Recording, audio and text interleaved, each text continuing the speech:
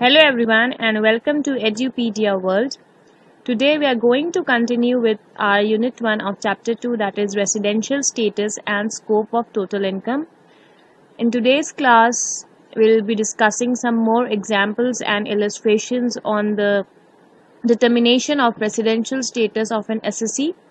We'll see two more examples so that the concept of determination of residential status becomes very very clear in our minds and there is no scope of any confusion regarding that and further we'll discuss the residential status of HUFs, AOP, BOIs and companies and then we'll be done with our unit 1 of chapter 2 that is residential status and scope of total income.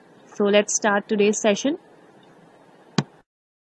We are done with almost all the learning objectives of this unit number one number two number three we have done all the three and now we just need to revise all these learning objectives by uh, just taking few more examples and further the residential status of assessees other than individuals that is HUFs, AOP, BOIs and companies. So the learning objectives of this unit are almost done and today there's just a revision of what we have done in previous classes. Now let us take one more example on the determination of residential status of an assessee. What is the question saying? Mr. C, a Japanese citizen, left India after a stay of 10 years on 1st of June 2012. So, the first statement of the question is saying that Mr. C, who was in India for 10 years, left India on 1st June 2012. Okay. Now, during the financial year 13-14, he comes to India for 46 days.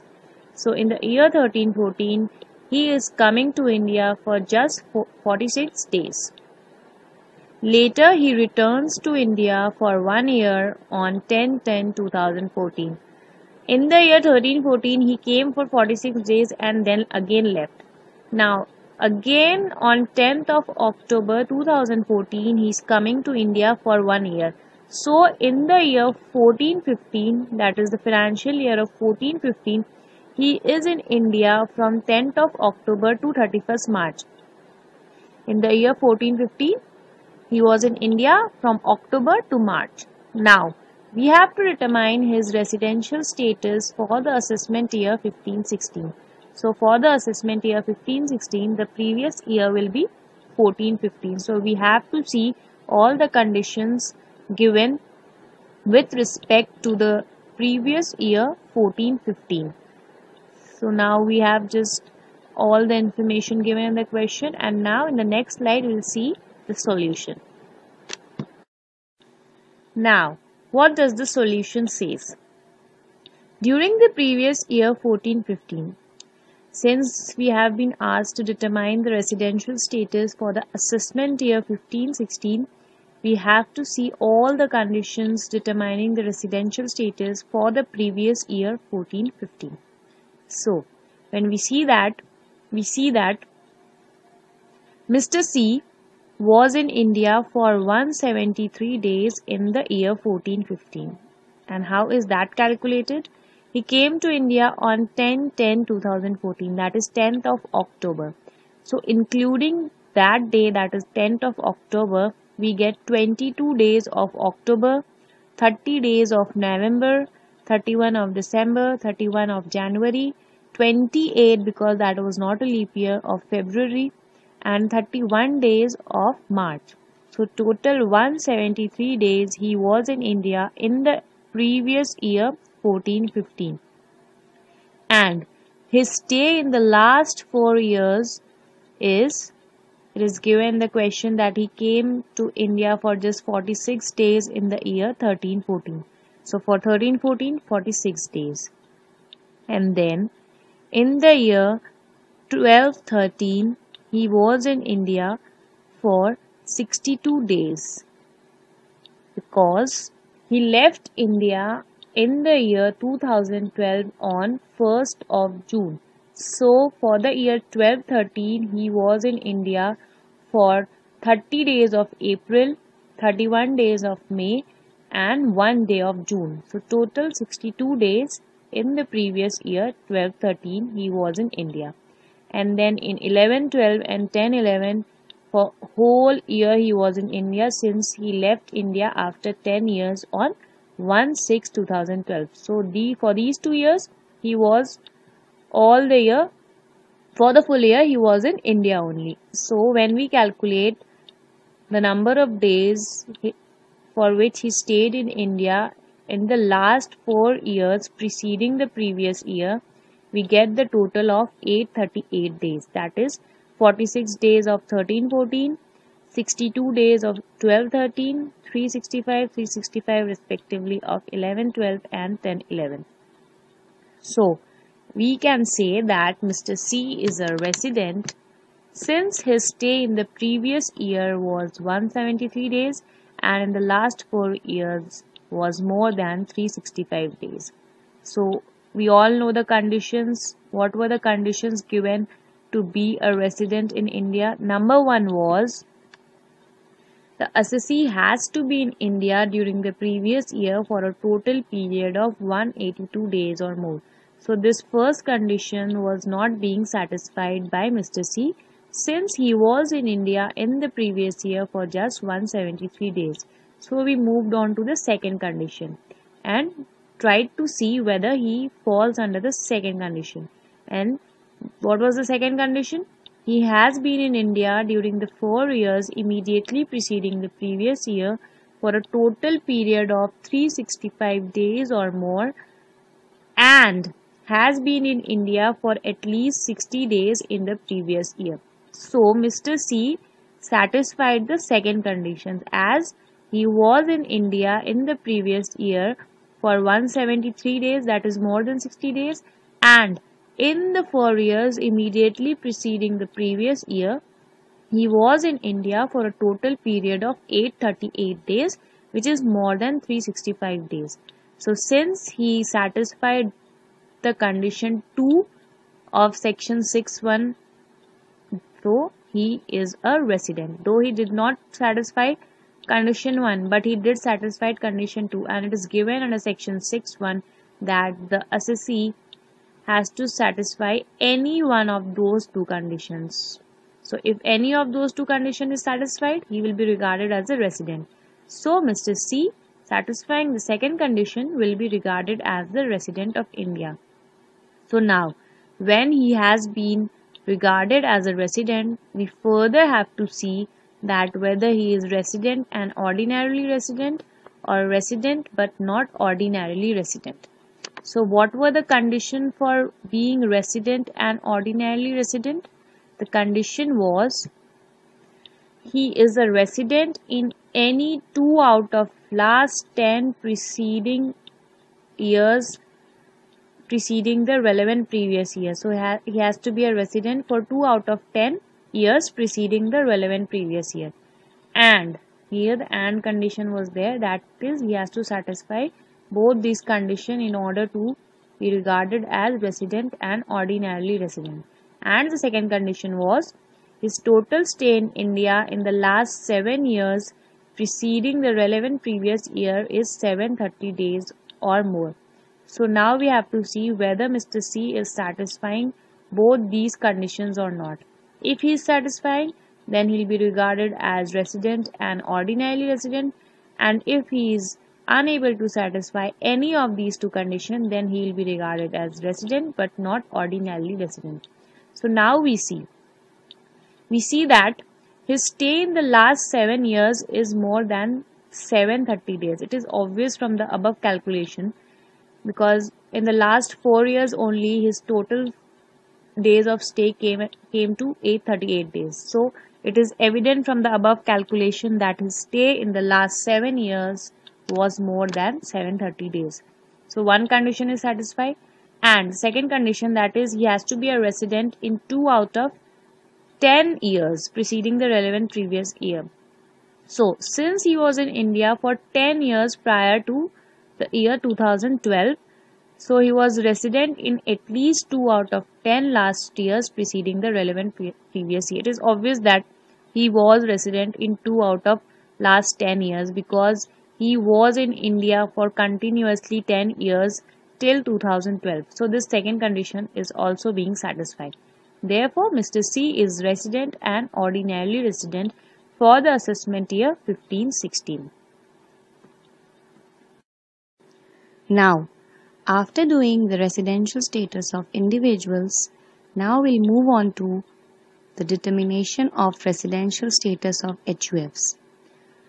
When we did the residential status of individuals, the conditions regarding the resident and non-resident or resident and ordinarily resident or resident or not ordinarily resident were wholly and solely dependent upon the number of days of stay in India. But in determining the residential status of HUFs, the main condition to be satisfied by any HUF to be regarded as a resident in India is that the control and management of its affairs is situated wholly or partly in India. So, if any HUF is considered a resident in India, then its control and management should be in India, whether wholly or partly. And if the control and management is wholly outside India, then it would be regarded as a non-resident. So let us see what is given here. A HUF would be resident in India if the control and management of its affairs is situated wholly or partly in India. If the control and management of the affairs is situated wholly outside India, it would become a non-resident. Now what do we mean by the expression control and management? This is a very subjective term so how can we determine whether the control and management of any HUF is in India or outside India? So the IT Act has given some points which will help us in determining whether the control and management is in India or outside India. The expression control and management referred to under section 6 refers to the central control and management and not to the carrying on of day to day business by servants, employees, or agents. So, it is given in the IT Act that the expression control and management means the central control and management. What do we mean by central control and management? Central control and management means the decision making process. From where is the business being controlled, where are the policy makers and decision takers sitting? And from where the major decisions affecting the working of the HUF is being taken. If that is being taken in India, it is resident. And if the major policy and decision making is done outside India, then it is a non-resident. So it is clearly given that the carrying on of day-to-day business activities of the HUFs by the servants, employees or agent will not be regarded as control and management of the HUF. If the day-to-day -day business is being carrying on in India, but the major decisions and policies are being taken outside India, then that will be that HUF will be a non-resident. Though the day-to-day -day business activities are being carried in India, but the major control and management is outside India. So therefore the HUF will be regarded as a non-resident. So it is given that the business may be done from outside India and yet its control and management may be wholly within India. So it can be the other way also that the day-to-day -day business activities are being carried on outside India but the major control and management is being there in India. So in that case the HUF will be regarded as a resident in India. So therefore control and management of a business is said to be situated at a place where the head and brain of the adventure is situated. So the head and brain means the place where the major decisions affecting the working of the HUF is being taken that will be regarded as a place where the control and management of the business is situated. The place of control may be different from the usual place of running the business and sometimes even the registered office of the assessee. So it may happen that the registered office of the assessee, that is the HUF, is situated in India. But that also does not mean that the HUF can be considered as a resident because if the major control and management and the head and brain of the HUF is not at the registered office of the assessee, then the HUF will not be regarded as a resident. Though the registered office is in India, but the major decisions and policies are being taken and implemented at some place outside India. So in that case, the HUF will be regarded as a non-resident. So this is because the control and management of a business need not necessarily be done from the place of business or from the registered office of the assessee. But control and management do imply the functioning of the controlling and directing power at a particular place with some degree of permanence. So it is clearly given that it may happen that all the functioning and day-to-day -day business are in India, but the major decisions and policies and the heads and brains of the business is outside India. So in that case, the HUF will be regarded as a non-resident. After determining whether HUF is resident and non-resident, we further determine whether the HUF is resident and ordinarily resident or resident but not ordinarily resident. In determining whether HUF is resident or non-resident, the major condition was the control and management of the affairs of the business of the HUF. But in determining the, that if the HUF is resident and ordinarily resident or resident but not ordinarily resident, we, we check whether the Karta is resident or ordinarily resident or the Karta is resident but not ordinarily resident. So, the residential status of the Karta, that is the head of the Hindu undivided family, determines whether the HUF is resident and ordinarily resident or resident but not ordinarily resident. So if the Karta is resident and ordinarily resident, then the HUF is resident and ordinarily resident. And if the Karta is resident but not ordinarily resident, then the HUF is also resident but not ordinarily resident. So we can just say that in determining whether HUF is resident or non-resident, we have to see the control and management of the affairs of the business. If it is in India, then it is a resident. If it is outside India, then it is a non-resident. And after determining that, we have to further see whether HUF is R and OR or R but NOR. In order to determine that, we have to see the residential status of the Karta. Now let us take one example to understand the residential status of HUFs in a more better way. What is the question saying? The business of a HUF is transacted from Australia and all the policy decisions are taken there. So please just pay attention to this first line of the question. It is saying that all the policy decisions are taken in Australia. Now, Mr. E, the Karta of the HUF, who was born in Kolkata, visits India during the previous year 2014-15 after 15 years. He comes to India on 1-4-2014 and leaves for Australia on 1-12-2014. Determine the residential status of Mr. E and the HUF for assessment year 2015-16. So the question is saying that first of all we have to determine the residential status of Mr. E and after that the residential status of HUF. So let us start to solve this question. First of all, we'll determine the residential status of Mr. E and the residential status of Mr. E will also help us in determining the residential status of HUF because we have learned in the previous slide that in order to determine whether the HUF is ordinarily resident or not ordinarily resident, we have to determine whether the Karta of the HUF is ordinarily resident or not ordinarily resident. So let us first of all determine the residential status of Mr. E. So during the previous year 2014-15 Mr. E stayed in India for 245 days. And how that 245 days is calculated? It is from 1 4 2014 to 1 12 2014, meaning from 1st April to 1st December. 30 days of April, 31 days of May, 30 days of June, 31 days of July and August respectively, then September, October, November and the one day of December. The total of these all days come up to 245 days.